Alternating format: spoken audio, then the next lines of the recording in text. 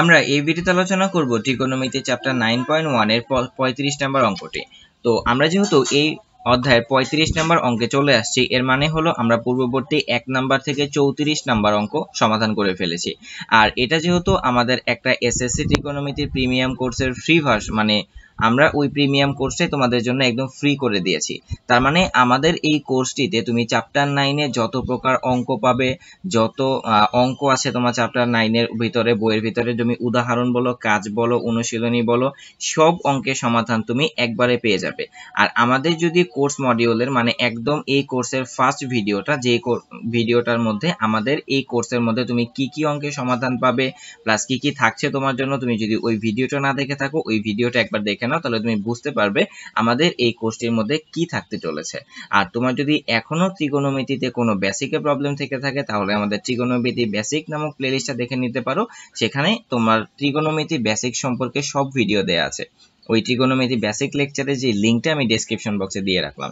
চলো, আমরা আজকে অঙ্কটা সমাধান করে ফেলি। আমাদের এই অঙ্কে যে লেফট হ্যান্ড সাইড সেটা হচ্ছে root over sec A plus one divided by sec A minus one আমাদেরকে প্রমাণ করতে হবে কটে প্লাস কসেকে তাহলে আমরা লেফট হ্যান্ড সাইড থেকে শুরু করতে পারি root over sec A plus one divided by sec A minus one এখানে আমরা যেই লব এবং হর আছে, এই লব ও হরকে সেকে প্লাস ওয়ান দ্বারা গুণ করে পাই।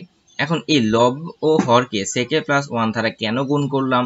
বা এখানে গুণ না করলে কি হতো? বা এখানে হঠাৎ করে আমরা কেন গুণ করলাম? এই সবগুলো প্রশ্নের উত্তর আমি চৌত্রিশ নাম্বার যে অঙ্কটা আছে, সেই অঙ্কের মধ্যে আলোচনা করেছি। তোমার যদি কোনো কনফিউশন থাকে, তাহলে তুমি চৌত্রিশ নাম্বার অঙ্কটি দেখে থাকো দেখতে পারো। আর যদি তুমি এই পঁয়ত্রিশ নাম্বার অঙ্কটি দেখতেছো, এর মানে হলো তুমি চৌত্রিশ নাম্বার অঙ্কটি আমি আশা করব দেখে ফেলেছো। তাহলে আমরা পরের লাইনে যেতে পারি। এখানে একটা জিনিস খেয়াল করো যে sec A plus one into sec A plus one কি হবে? Sec A plus one whole square আর এখানে যেটা আছে যে sec A plus one into sec A minus ওয়ানের মানে হলো আমরা যদি এই সেকেটাকে এ ধরি এবং ওই ওয়ানটাকে বি ধরি, তাহলে কি হচ্ছে? A plus B into A minus B তাহলে কি হবে? আমরা পরের লাইনে দেখতে পাবো। আমাদের কি হচ্ছে যে A plus B into A minus B সমান সমান A square minus B square আমরা এ ধরেছিলাম কাকে? সেকে কে। তাহলে সেকে স্কোয়ারে মাইনাস ওয়ান আর উপরে কি আছে? সেকে প্লাস ওয়ান হোল স্কোয়ার তাহলে এখন আমরা এই জিনিসটাকে কি বলতে পারি? যে এখানে রুটটা কোথায় গেল? আবার এই যে এখানে যে স্কোয়ারগুলো ছিল বা এই স্কোয়ারগুলো কোথায় গেল? আসলে এখানে একটা জিনিস খেয়াল করো। যে আমরা যদি সেকে স্কোয়ার এ মাইনাস ওয়ান সমান সমান, আমরা কি জানি? টেন স্কোয়ারে আমি এখানে একটা লাইন শর্ট করেছি। তাহলে সেকে স্কোয়ার এ মাইনাস ওয়ান সমান যদি টেন স্কোয়ারে হয়, আর উপরে ছিল আমাদের সেকে প্লাস ওয়ান হোল স্কোয়ার তাহলে কি আমরা লিখতে পারি না যে root over sec A plus one divided by tan A plus one whole square তাহলে উপর থেকে এই রুট আর ওই হোল স্কোয়ারটা বাদ যাবে, বাকি থাকবে sec A plus one divided by টেনে আশা করি বুঝতে পেরেছ। এর পরের লাইনে আমরা কি করতে পারি? যে এই টেনে ধারা এই সেকে প্লাস সেকে প্লাস ওয়ানকে ভাগ যায়। তাহলে আমরা কি লিখব?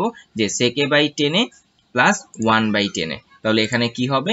যে সেকে সমান সমান আমরা কি জানি? ওয়ান বাই কজে আর টেনে সমান সমান আমরা কি জানি? সাইনে বাই কজে তাহলে টেনের পরিবর্তে আমরা এখানে লিখলাম সাইনে বাই কজে প্লাস এখানে হচ্ছে কটে তাহলে one by cos A into cos A by sin A plus হচ্ছে কটে তাহলে এখানে এই কজ আর এই কজ কি কাটাকাটি চলে যায়? বাকি থাকবে ওয়ান বাই সাইনে প্লাস হচ্ছে কটে এখন এখানে একটা জিনিস খেয়াল করো, আমরা ওয়ান বাই সাইনের সমান সমান কি জানি?